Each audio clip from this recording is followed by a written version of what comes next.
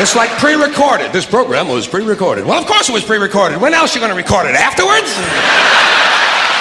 That's the whole purpose of recording. Hello, what's that crack? What's that story with you? Welcome, welcome back to the channel. Today we're checking out some George Carlin on airlines and flying. I've been getting loads of comments saying check out George Carlin. I've checked him out a few times and it's been funny. It's been funny. So yeah, let's see what it's about. Let's go.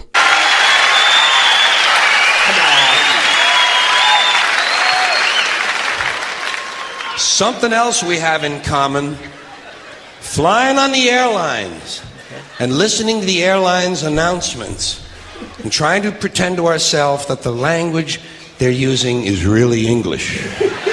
Doesn't seem like it to me. Whole thing starts when you get to the gate. First announcement. We would like to begin the boarding process. Extra word, process. Not necessary. Boarding is enough. We'd like to begin the boarding. Simple, tells the story. People add extra words when they want things to sound more important than they really are. Boarding process sounds important. It isn't. It's just a bunch of people getting on an airplane. People like to sound important. Weathermen on television talk about shower activity. Sounds more important than showers. I even heard one guy on CNN talk about a rain event. He said, Louisiana's expecting a rain event. I thought, holy shit, I hope I can get tickets to that. Emergency situation. News people like to say police have responded to an emergency situation. No, they haven't. They've responded to an emergency. We know it's a situation. Everything is a situation. Anyway, as part of this boarding process, they say, we would like to pre board. Well, what exactly is that anyway? What does it mean to pre board? You get on before you get on? That's another complaint of mine. Too much use of this prefix pre. It's all over the language now. Pre this, pre that. Place the turkey in a preheated oven. It's ridiculous. There are only two states an oven can possibly exist in heated or unheated. Preheated is a meaningless fucking term.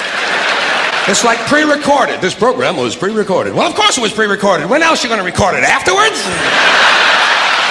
That's the whole purpose of recording, to do it beforehand. Otherwise, it doesn't really work, does it? Pre-existing, pre-planning, pre-screening. You know what I tell these people? Pre-suck my genital situation.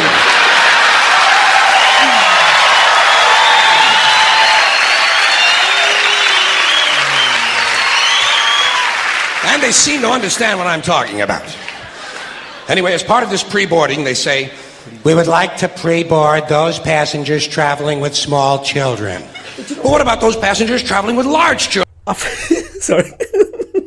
Not children. Sorry, sorry. I was gonna say all the pre stuff. I think that only happens in the US because I fly like almost every almost every month. I'm always going to Ireland. I'm always going. I fly to Ireland probably like at least 10 times a year, I'd say. At least 10 times a year. And I'm going holidays. So altogether, I probably fly like 16, 17 times a year. And I never see the pre stuff in, in Europe. I usually fly around Europe. But in, probably in America, that's where you guys do all the pre stuff. Is that? I think that's only in America. Why? It's just to get people in that might have small children. But what if I pay to be in first class? Can I get in ahead of people that have small children? Hmm. Let me know. Let me know. Anyone that knows that, let me know. Thank you. Children. Suppose you have a two year old children. But what about those passengers traveling with large children? Suppose you have a two year old with a pituitary disorder. You know, a six foot infant with an oversized head. Kind of kid you see in the National Enquirer all the time. Actually, with a kid like that, I think you're better off checking him right in with your luggage at the curb, don't you? Well, they like it under there. It's dark. They're used to that. About this time, someone is telling you to get on the plane. Get on the plane, get on the plane. I say, fuck you, I'm getting in the plane. In the plane. Let Evel Knievel get on the plane. I'll be in here with you folks in uniform. There seems to be less wind in here. They might tell you you're on a non stop flight. Well, I don't think I care for that. No, I insist that my flights stop. Preferably at an airport. It's those sudden, unscheduled cornfield and housing development stops that seem to interrupt the flow of my day. Here's one they just made up near miss. When two planes almost collide, they call it a near miss. It's a near hit. A collision is a near miss. Look, they nearly missed.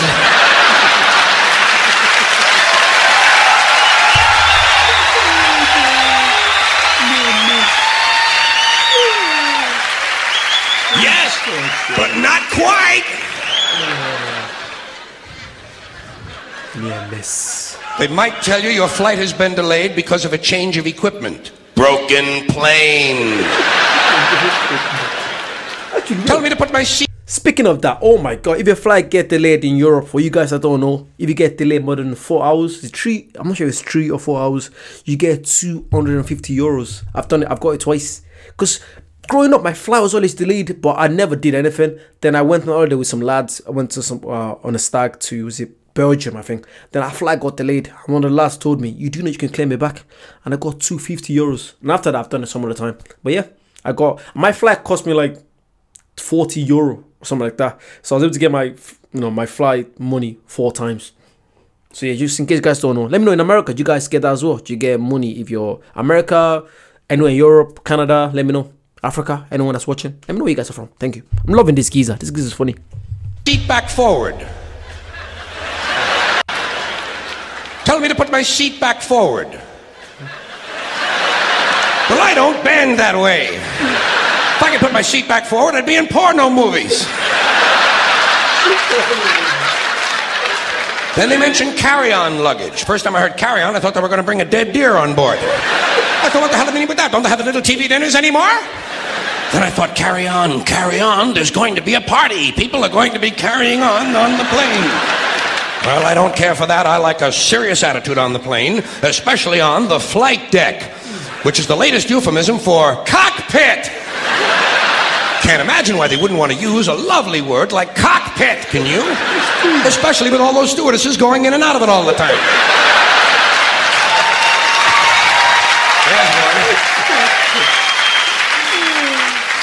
There's a word that's changed stewardess. First it was hostess, then stewardess, now it's flight attendant. You know what I call them? The lady on the plane. Sometimes it's a man on the plane now. That's good. Equality. I'm all in favor of that. Sometimes they actually refer to these people as uniformed crew members. Uniformed. As opposed to that guy sitting next to you in the Grateful Dead t shirt and the fuck you hat. Who's working on his ninth little bottle of Kahlua, I might add. As soon as they close the door to the aircraft, that's when they begin the safety lecture. I love the safety lecture. This is my favorite part of the airplane ride. I listen very carefully to the safety lecture, especially that part where they teach us how to use the seat belts. Imagine this. Here we are, a plane full of grown human beings, many of us partially educated, and they're actually taking time out to describe the intricate workings of a belt buckle. Place the small metal flap in. But do you know what? Sometimes you be surprised. You some people need it. Like, do you know how many times I've flown that this the I was gonna say steward, the flight attendant will come beside you and be like, "Sorry, took someone beside me. Sorry, could you please do your seatbelt?" And the person will be like just fumbling about for like five minutes. Because some people don't fly that often, even though cause oh, it's not the same as your normal, you know, car seatbelt. It's different. So I do understand people that do that, but come on, at this stage, you should know. Come on, fix up. into the buckle. Well, I asked for clarification at that point. Over here, please. Over here. Yes, thank you very much. Did I hear you correctly? Did you say place the small metal flap into the buckle or place the buckle over and around the small metal flap? I'm a simple man. I do not possess an engineering degree, nor am I mechanically inclined. Sorry to have taken up so much of your time. Please continue with the wonderful safety lecture. Seatbelt, high tech shit.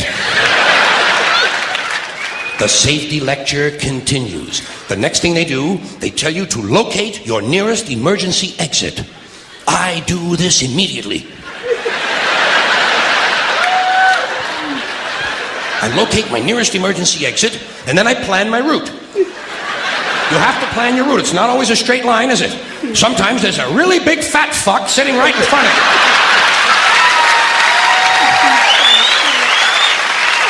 Well, you know you'll never get over him. I look around for women and children, midgets and dwarfs, cripples, war widows, paralyzed veterans, people with broken legs, anybody who looks like they can't move too well. The emotionally disturbed come in very handy at a time like this. You might have to go out of your way to find these people, but you'll get out of the plane a lot goddamn quicker, believe me. I say, let's see. I'll go around the fat fuck, step on the widow's head, push those children out of the way, knock down the paralyzed midget, and get out of the plane where I can help others.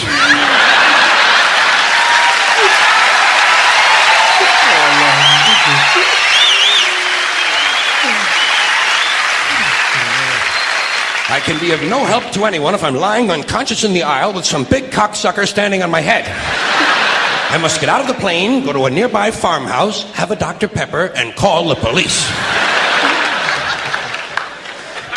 The safety lecture continues. In the unlikely event, this is a very suspect phrase, especially coming as it does from an industry that is willing to lie about arrival and departure times.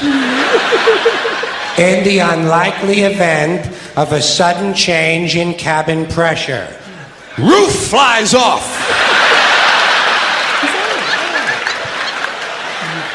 An oxygen mask will drop down in front of you.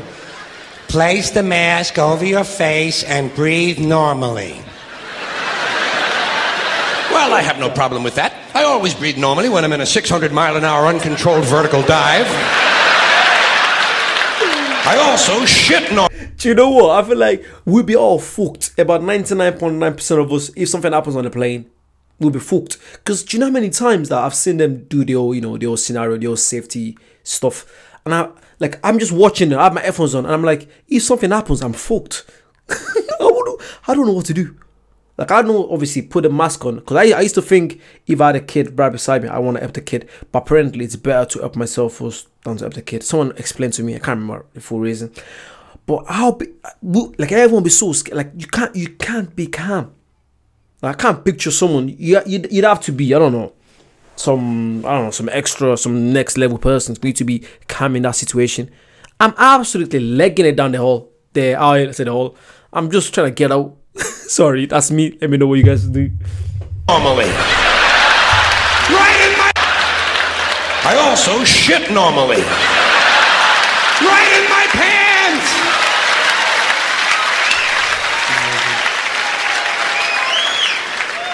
They tell you to adjust your oxygen mask before helping your child with his. I did not need to be told that. In fact, I'm probably going to be too busy screaming to help him at all. This will be a good time for him to learn self reliance. If he can program his fucking VCR, he can goddamn jolly well learn to adjust an oxygen mask. Fairly simple thing, just a little rubber band in the back is all it is. Not nearly as complicated as, say, for instance, a seatbelt. The safety lecture continues. In the unlikely event of a water landing.